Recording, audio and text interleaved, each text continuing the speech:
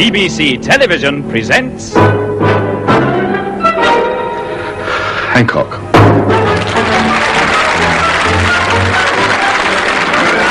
The British National Health Service, a central pillar of the post-war welfare state, was a revolutionary social advance.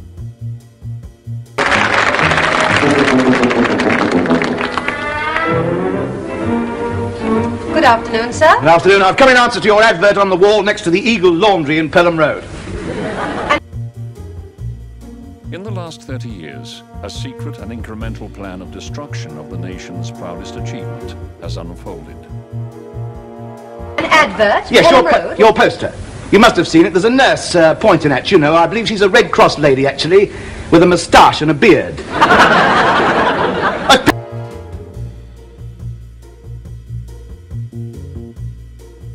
A monumental betrayal of the public interest. Penciled in, of course. you must know it. It's one of yours, definitely one of yours. Next to Hands Off Cuba, just above the cricket stump.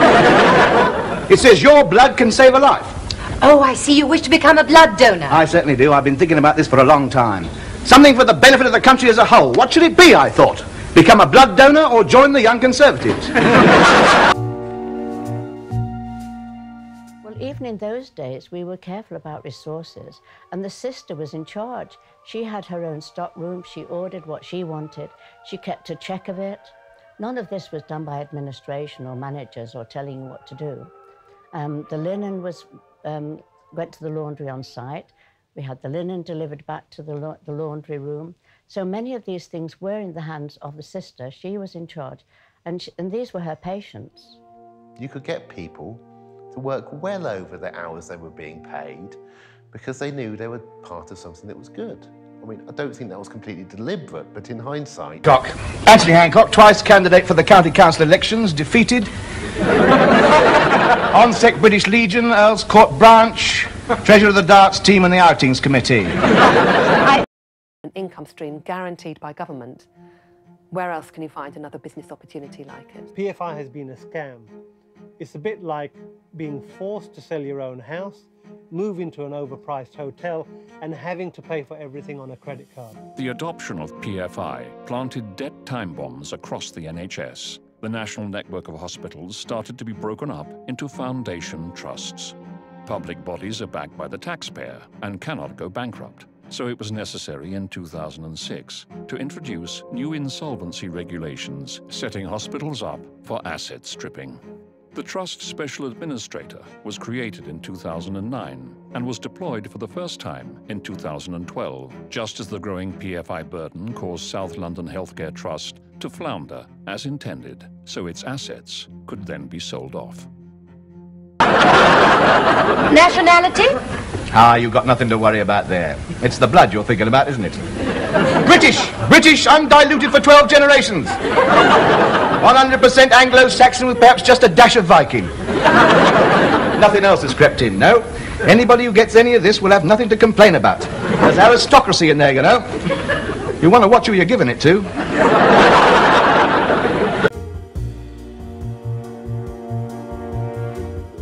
This is the story of the great NHS heist. The, the country was exhausted after the war financially. It's like motor oil, it doesn't mix if you get my meaning. Mr. Hancock, when a blood transfusion is being given, the family background is of no consequence. Oh, come now, surely you don't expect me to believe that. I mean, after all, East is East, really. And blood is blood all over the world, Mr. Hancock. It is classified by groups and not by accidents of birth. I did not come here for a lecture on communism, young lady. dysfunctional for many millions of Americans. The American healthcare system is made up of insurance companies, hospital provider chains, drug and medical appliance companies, and the government. The profit motive is the driving force, and for insurers, money can be made by the denial of care and high out of pocket expenses before insurance claims can be made. Hospital providers inflate charges and carry out unnecessary tests and treatments, then bill the patients, insurers, or the government. Drug and appliance manufacturers push up their prices, heavily market and exaggerate the benefits of their products. Some of those excluded by privatized healthcare are supported by government funding. Medicare for the elderly, and Medicaid for the poor and the young. But government funding mostly goes to private providers and insurers. The literature is, uh, is quite large and quite compelling that uh, if you, people have to take money out of their pocket to see a doctor, they'll do it much less often. They'll see the doctor much less often, even if... I happen to be a conservative. Then kindly behave like one, madam. He's never used a food bank. He's never been to a food That's bank. right. Hang- Actually, that's right. Whoa, whoa, whoa. Hang Hang on a second. I- I- uh, what I wanna do- Take that Boris- back, old oh, boy. Take it back. No, well, why don't you Take it just back. sort this out? Hang- hang on. I'm just going to be much more concrete, right? There's no privatisation of the NHS on my watch, and the integrated care contracts will go to public sector bodies to deliver the NHS in public hands. Oh, sorry. He's never used a food bank. He's never been to a food That's bank. right. Hang- Actually, that's right. Whoa, whoa, whoa. Right, Hang on a second. I- I- what I want to do, Take that Boris- back, boy. Take it back. No, well, why don't you it just back. sort this out? Hang, hang on. In for it. What do you want? Money? Don't be vulgar. Great believer in charity. Help others, that's my motto. I contribute to every flag day that's going.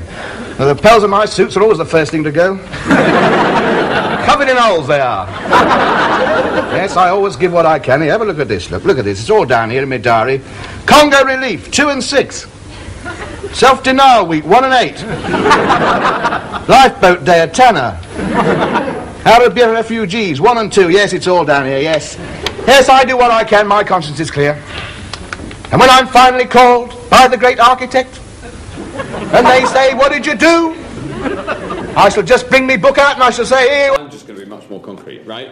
There's no privatisation of the NHS on my watch, and the integrated care contracts will go to public sector bodies to deliver the NHS in public hands. We're going to do such morally repugnant things. Keep in mind that a medical director is just as much of a corporate employee as I was. And we're always made aware, we're constantly made aware of the need to make sure that our investors were happy. You want to make sure that you get a bonus. You want to make sure that you get a raise.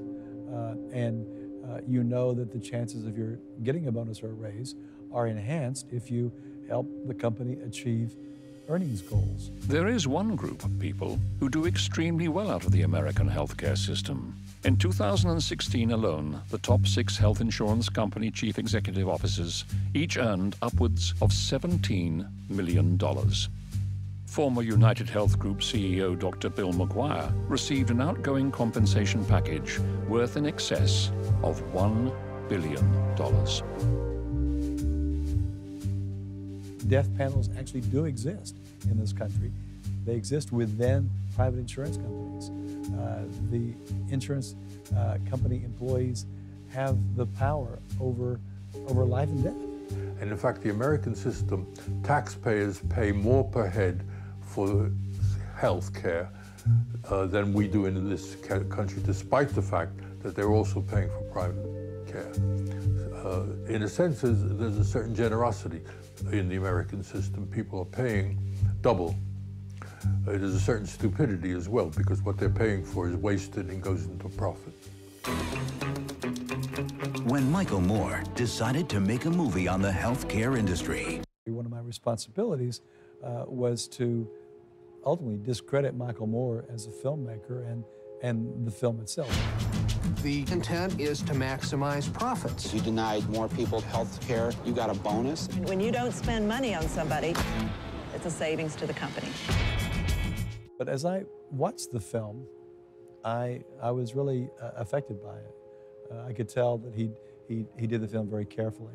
Uh, I, I saw no, no inaccuracies. Yes, he had an agenda, certainly, uh, but um, uh, his depiction of how health insurance companies operated uh, was dead on.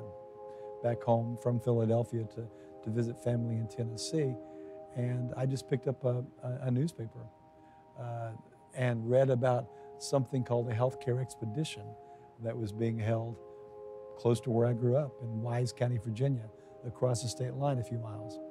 I'd never heard of the organization remote area medical that was putting this on. When I went to that fair, I, I saw um, the real consequences of the actions and the practices of Oh, sorry. He's never used a food bank. He's never been to a food That's bank. right. Hank. Actually, that's right. Whoa, whoa, whoa, whoa. Right, Hang on a second. London. I- I- what I wanna do- Take that Boris- back, boy. Take it back. No, well, why don't you just sort this out? Hang- it's hang Mary on. I'm just going to be much more concrete, right? There's no privatisation of the NHS on my watch, and the integrated care contracts will go to public sector bodies to deliver the NHS in public hands. Oh, I'm so sorry. He's never used a food bank. He's never been to a food That's bank. right. Hank. Actually, that's right. Whoa, whoa, whoa. Right, Hang on a Mary second. I- I- what I wanna do- Take that Boris- back, boy. Take it back. No, well, why don't you just back. I sort this out? it's Hang- Mary hang on. London. exaggerating it, am I? The knock on her was just, it was just awful. Last year, I was um, shooting my a movie, Where to Invade Next, and we went to this country, um, Estonia. I wanted to go there because I was trying to show in different countries what they do better than us and what can we learn from them. And so I went to Estonia because there, but the World Health Organization says that you have the least chance as a woman dying in childbirth in Estonia than any other country on the planet. If you live in Cleveland, you have a three times greater chance of dying in childbirth than you do in, Cle- than you do in Estonia. And so they took me to the maternity ward, and they had the head doctor of the, the maternity ward. And uh, he's showing me around, he's telling me why they're so good at this. We're walking down this hallway, and there's a picture on the wall. And I stopped him and I said, Wait a minute, I know the person in that photo. That's me and the doctor there in the hallway. And can we just punch in, punch in a little bit on this uh, here? It's Hillary Clinton shaking this guy's hand. I said, Where was it? Where did this happen? He said, It happened right where you're standing. I said, Oh my God. Well, who's the guy? That is me. 20 years ago. I said, Oh my God. So, okay, well, so what was she doing in Estonia? Well, don't you remember? She wanted you to have universal health care. So she was studying. She went around the world to study it. And she came to little Estonia for the same reason you're here tonight to find out why so many more women survive childbirth here than in the United States. And I said, Oh my God, wow, she came here? Yes. And then she went back, and you didn't listen to her. Instead, you humiliated her and attacked her. And you've gone 20 years now without universal health care. And we've had it. I said, um, I made this movie, Sicko. And while making the movie, I learned that, according to the Congressional Budget Office, nearly 50,000 Americans die each year for one simple reason they don't have health insurance or they don't have adequate health insurance. In other words, not because of the disease, not because of the germs in the hospital, but because they didn't have health insurance, they put off going to the doctor, or they had crappy health insurance and the doctor couldn't send them to the specialist that he wanted to send them to. So they died. They died only because they were Americans. If they lived across the river from Detroit in Windsor, Canada, they'd be alive. But because they were American, they died. 50,000 a year. And I sat there and I started doing the math of this. Like 50, 20 years, 50,000 people dead. Holy shit. This is like a million people. That's a million of our fellow Americans dead because they didn't have health insurance. If they'd been Canadian or French or Scottish or Chilean or just about anywhere else in the world, they would have lived. Every 9 11, we have somber vigils and memorials for the 3,000 Americans who died in that attack, as we should. 3,000. We, I still tear up over it. One of my producers was on the plane from Boston that went in the North, North Tower. We shed no tears for the million Americans who have died from that act of terrorism. One million dead Americans because we refused to listen to Hillary Clinton. set up, which is in, intended to make sure that people who are seriously ill don't go anywhere near trying to get care from insurance companies. The American health insurers are already here. Since 2003, United Health Group, and through its subsidiary Optum, has been awarded NHS contracts across England to provide prescribing decision support software, management of GP referrals to hospitals, and crucially, to implement policy to redesign the NHS. United Health Optum is ideally positioned to capture control of NHS budgets allocated to GPs via their registered patient lists. Most doctors remain unaware of the privatisation plan for the NHS, which remarkably is fully endorsed by the British Medical Association.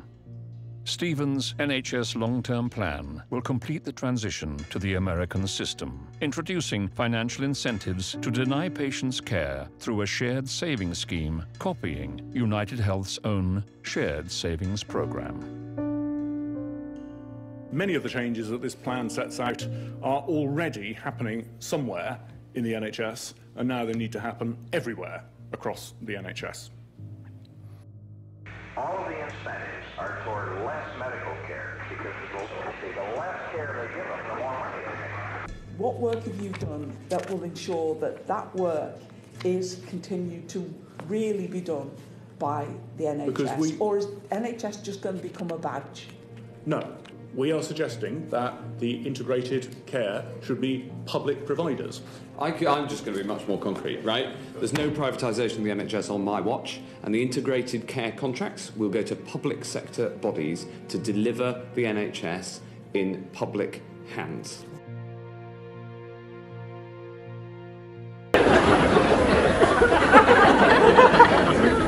Drink a pint of milk a day.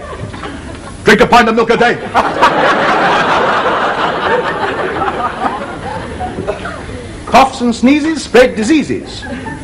Coughs and sneezes spread diseases. Drop the jams in your handkerchief. Coughs and sneezes spread diseases. We will all have the riches. And I have another yacht in the Mediterranean, if you don't mind.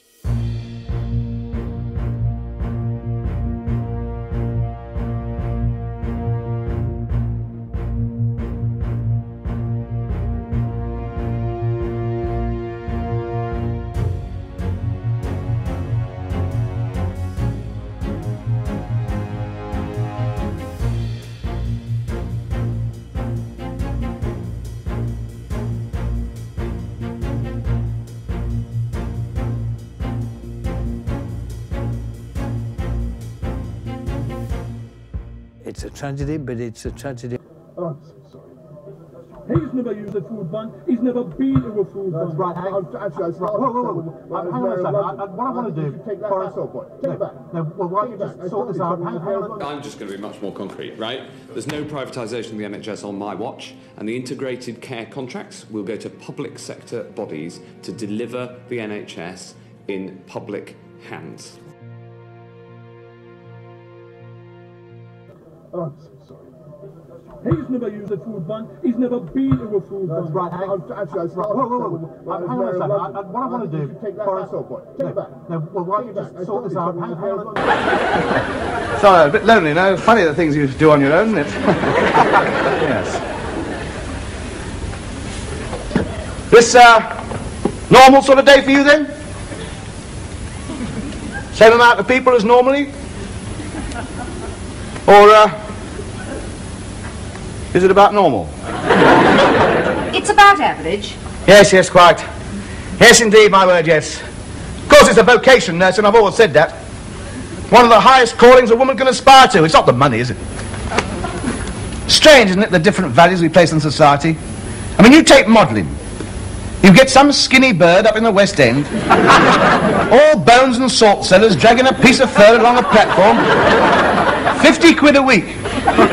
And there's you lot, dedicated, three years training, humping great jolly loads of mints about all day long.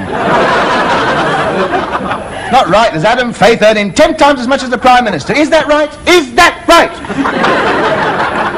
Mine. I'm just going to be much more concrete, right? There's no privatisation of the NHS on my watch, and the integrated care contracts will go to public sector bodies to deliver the NHS in public hands.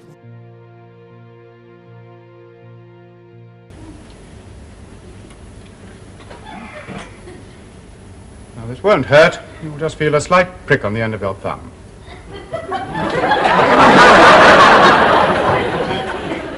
Well, I'll bid you good day then. Thank you very much. if you want any more, don't hesitate to get in touch with me. Where are you going? Have me tea and biscuits. But you came here to give us some of your blood. Well, you've just had it. That's just a smear. It may be just a smear to you, mate, but it's life and death to some poor. I- I've just taken a sample to test. A sample? How much do you want then? Well, a pint, of course. A pint? Have you gone raving mad? you must be joking. A pint is a perfectly normal quantity to take. You don't seriously expect me to believe that? I mean, I came in here in all good faith to help me country. I don't mind giving a reasonable amount, but a pint? That's very nearly an armful. I don't mind that much, but I'm not having it up. I'm just going to be much more concrete, right? There's no privatisation of the NHS on my watch, and the integrated care contracts will go to public sector bodies to deliver the NHS in public hands. to hear. Sorry, I'm not walking around with an empty arm for anybody. After all, a joke's a joke and all that. Uh, Mr. Hancock, you obviously don't know very much about the workings of the human body. You won't have an empty arm, or an empty anything. Blood is circulating all the time. A perfectly normal, healthy individual can give a pint of blood without any ill effects whatsoever. After all, you do have eight pints of blood, you know. Now look, chum, everybody do his own trade, I'll grant you. But if I've got eight pints, obviously I need eight pints. and not seven, as I will have by the time you finish with me. No, no, I'm sorry. I've been misinformed. I've made a mistake. I'll do something else. I think I'll be a traffic warden. I can't force you to donate your blood, but it's a great shame. You're AB negative. Is that bad? No, no. You're rhesus positive. Rhesus? They're monkeys, aren't they? Aren't they? What are you implying? I didn't come here to be insulted by a legalized vampire. Mr. Hancock, that is your blood group, AB negative. One of the rarest blood groups there is. Really? Yes, it is. Very rare indeed. Oh, well, of course, this does throw a different complexion on the matter. I mean, if I am one of the few sources, one doesn't like to hog it all, so to speak. Not unchristian, very rare, eh? Yes. There'll be no ill effects, I assure you. You'll make up the deficiency in no time at all. Oh, well, in that case, I'll do it. I mean, after all, we AB negatives must stick together. A minority group like us, we could easily be persecuted. Thank you very much, Mr. Hancock. I'm very grateful to you. Now, if you'll just take off your coat and lie down over there, it won't take long. Just rest for half.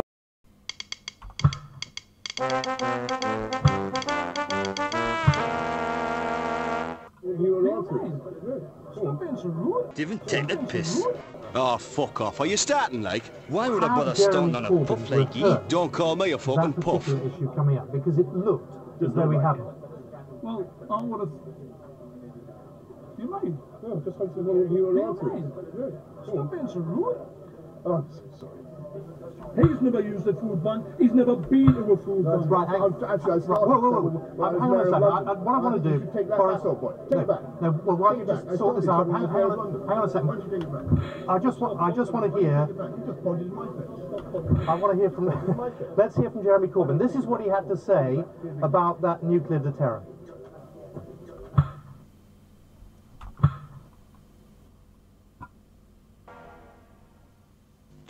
Toot. Oh, This is what he had lads. Check with about the that bops or not, deterrent. wench.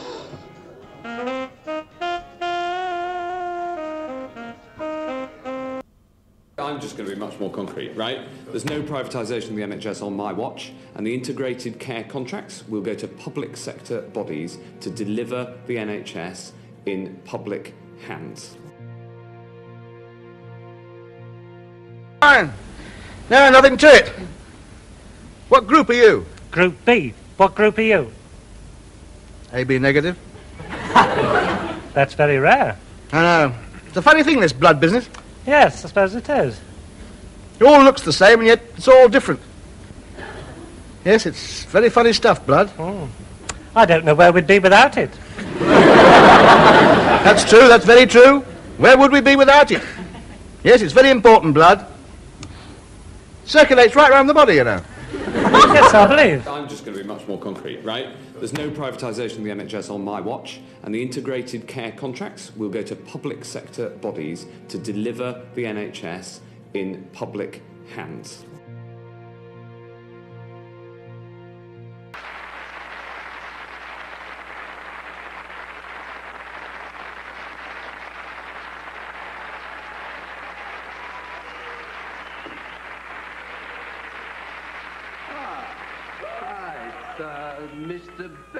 Isn't it? Hello, Doctor. And uh, I'm operating on you tomorrow morning, aren't I? Good. What, what do you do for a living, Mr. Baker? I am a baker. of course, it's, we're all we're all named after our jobs, aren't we? You'll be Mr. Doctor then. no such luck, I'm afraid. My name is Mr. Barber. How do you do? Uh, the doctoring's just the sideline. I had a few hours spare a week, and I've got all the sharp things, so it seemed logical. so after the operation, I can give you a bit of a trim if you like. Goatees are back in. No, thank you, uh, uh, Barber. Well, if you change your mind, just yell. Come to think of it, you'd probably be yelling anyway, so well, I just wanted a little chat, put your mind at rest, make sure you know exactly what's going to happen tomorrow. I'm going to die, aren't I? We're all going to die, Mr. Baker. Obviously, some of us a lot sooner and in considerably more agony than others. But in the end, it's the hot fires of hell for all of us, isn't it? Sorry, where was I? Oh, yes, um, putting your mind at rest. Well, I've had a look at your chart, and things aren't as bad as they might be. No? No, because the moon is in Jupiter, which is a good thing. Now, I understand you've been suffering from persistent headaches. So what we're going to do tomorrow is simply cut a large hole in the top of your head with a, a saw type thing. And then flip out the disc of bone with a little jemmy and uh, simply let the headaches out. And that's your treatment for headaches, is that you're going to cut off the top of my head? Oh, good heavens, no. What do you think this is? The Dark Ages? I shall, I shall then apply a warmed quicksilver brain balm. Meaning? I'm going to pour hot mercury into the hole in your Give it a bit of a stir with my brain spoon here. and tidy you up, seal up the hole with some tar, and Bob's your uncle. Any questions? Well, it hurt.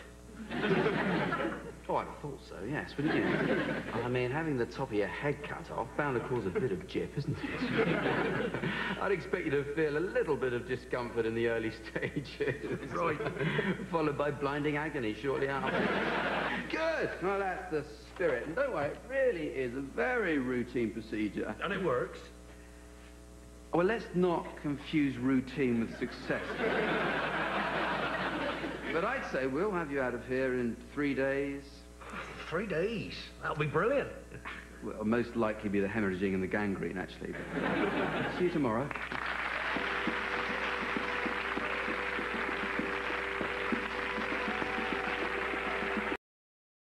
Plug in, turn on, and cop out. You will not be able to lose yourself on skag and skip out for beer during commercials because The revolution will not be televised. Troubling you any aches or pains or anything? No, no, I'm all right. Well, that's the main thing, isn't it? As long as you've got your health. Nothing else matters, really, does it? No, and the funny thing is, you know, you never appreciate it till you haven't got it anymore. Some people take their health for granted, don't they? Do you know? That could have been. I'm just going to be much more concrete, right? There's no privatisation of the NHS on my watch, and the integrated care contracts will go to public sector bodies to deliver the NHS in public hands. Better off. Well, that didn't work, did it? Leaders from all three main parties have, over the last 30 years, been enabling the corporate capture of the NHS, whilst claiming to support it. The destruction of the nation's finest achievement is the greatest betrayal of the public. Hello, Doctor. Hancock here. Yes, it is me again. Has it gone yet? I said, have you used it? Me blood. well, you've had it 24 hours now. You said it was rare. Surely somebody must be after it. Well, of course it's got something to do with me. It's my blood. Well, all right, it was. You can't expect my interest in it to cease just because you've got it.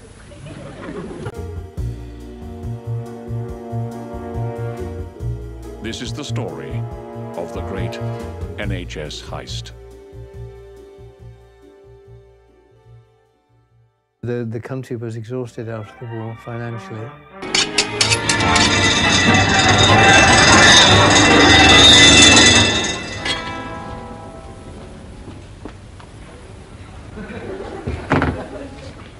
Knife wound, eh? Teddy Boys? No, I don't think so. His landlady found him, cut himself on a bread knife and fainted. Hmm. Lost a lot of blood, I see. Yes. Well, we'll have to give him a transfusion. He had his blood donor's card on him. He's group AB negative. Really? It's very rare. Have we got any? Well, I've checked and we've got just one pint in stock. Get it, nurse, will you? Have you got me mint?